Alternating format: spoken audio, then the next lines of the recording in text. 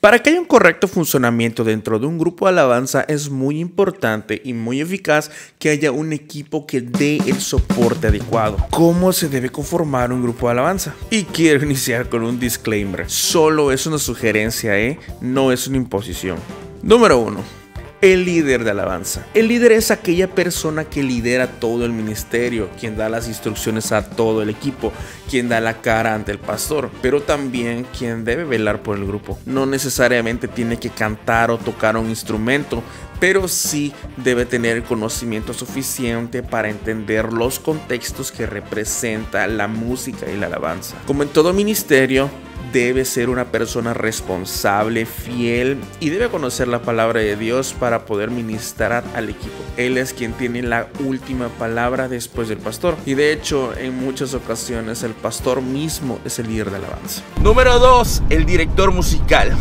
Es aquella persona con mayor conocimiento musical en toda la banda no necesariamente tiene que ser profesional en su campo, graduado en un conservatorio. O sea, no digo que no sea válido, sino que si es profesional mucho mejor, ¿no? Pero debe ser aquella mejor musicalmente responsable, que esté pensando no solamente en su instrumento, sino en todo el equipo. Esta persona se encargará de ensamblar a toda la banda y de proponer un desarrollo continuo, de tal manera que cada día puedan sonar mejor.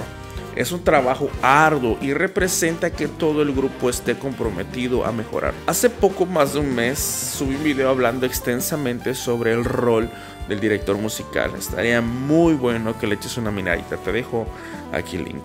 Número 3 directores de alabanza. Son aquellas personas que dirigen las alabanzas. A diferencia del líder o del director musical, los directores de alabanza interactúan directamente con la congregación. No solo cantan bonito y ya, sino que anticipan a la iglesia a cantar. Usualmente comienzan el tiempo de alabanza con un versículo bíblico donde animan a la iglesia a alabar a Dios. Pero que te invita a ti a reconocer lo que Cristo es. Así que hombres atentos, mujeres atentas vamos a cantar con todo nuestro corazón. Amén. Da un aplauso más fuerte al Señor. Deben tener una facilidad para conectar una canción con otra, sobre todo cuando pasamos de las canciones de alabanza rápidas a las de adoración, como comúnmente se les llama. Aunque interactúan con la iglesia, tienen que saber que son un instrumento musical también, por lo cual deben saber cuándo hay que cantar cuándo hacer silencio, cuándo hablar y cuándo ministrar. Aunque muchas veces les gusta enseñar algo durante el tiempo de alabanza, no hay que olvidar que el tiempo de alabanza es eso, un tiempo para alabar a Dios. La predicación está a cargo del pastor. Un buen director de alabanza tal vez no sea el mejor cantante, pero sí es un buen ministro. Número 4. Los músicos son aquellas personas que son el soporte de todos ellos. De nada sirve que haya un director musical si no hay a quien dirigir. Es muy importante que cada músico sea responsable tanto de su testimonio como su rol en el grupo.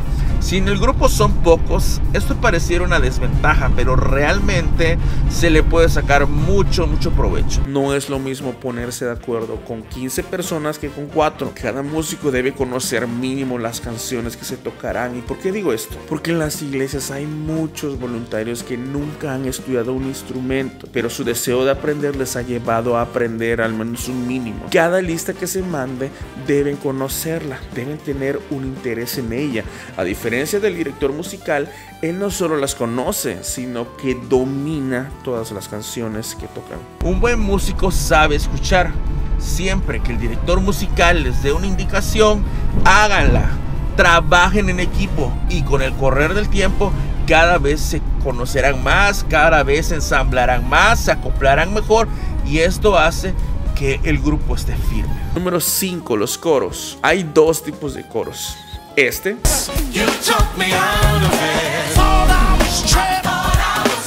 Quiero amarte. Quiero amarte. Y este.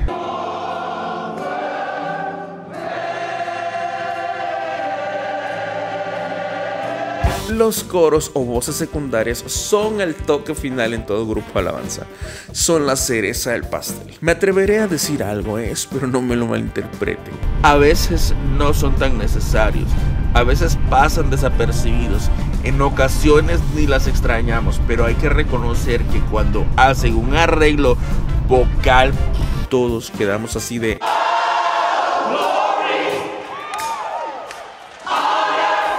Pero hay que trabajar mucho en los arreglos vocales. Muchas veces literalmente solo cantan en los coros y con voz primera.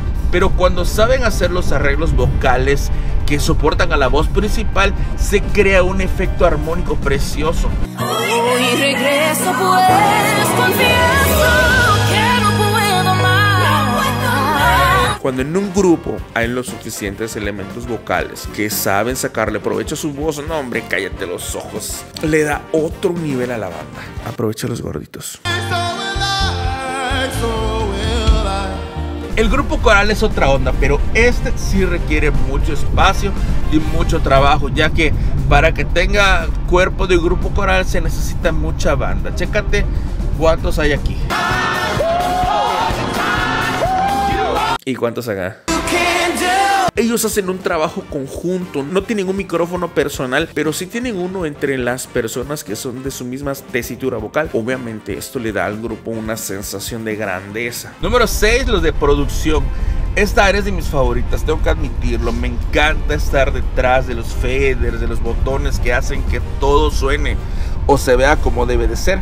Estoy hablando del ingeniero del sonido, del de proyección, inclusive el equipo de grabación de streaming, ya que cuando trabajamos en conjunto podemos lograr algo excelente. El que ellos sean parte del grupo Alabanza ayuda mucho a que todos vayamos en una misma dirección, en un mismo sentir. Ellos a veces son la parte que no se ve, pero la verdad es que sin ellos no somos nada. La gente no puede escucharnos, no puede vernos ni tampoco seguirnos. Ahora, pareciera que son un grupo gigantesco porque al menos son seis áreas, no inventes. O sea, deben ser como 20 o 30 personas fácilmente. Pues a decir verdad, muchas veces el líder de alabanza, el director musical y de alabanza son la misma persona. Llega a ser muy cansado. La verdad, por experiencia te lo digo. La verdad es que cuando el trabajo se reparte entre todos, llega a ser más liviana la carga. ¿Y tú en qué parte estás? Espero que sin darte cuenta puedas ubicarte en algún área. Suele ser bastante elemental, ¿eh? pero si no lo estás, aguas. Te aconsejaría que te acerques a tu líder de alabanza y platiquen sobre este tema que les ayudará muchísimo a tener un mejor desempeño entre todos ustedes. Tengan roles, no tienen que hacerlo todo la misma persona. Tener un grupo de 4 o 5 a veces vale mucho más que uno de 20. Tener roles nos lleva a prepararnos. Unos se especializarán en el área tecnológica, buscando qué equipos serán necesarios para la iglesia, para nosotros, mientras que otros deberán aprender a leer algo de música, algo de lenguaje musical y entre todos aprender a ser un ministerio guiado por Dios. Y todo esto es para que la gente escuche al ministerio cantar. ¿Qué debe hacer la congregación? ¿Admirarlos?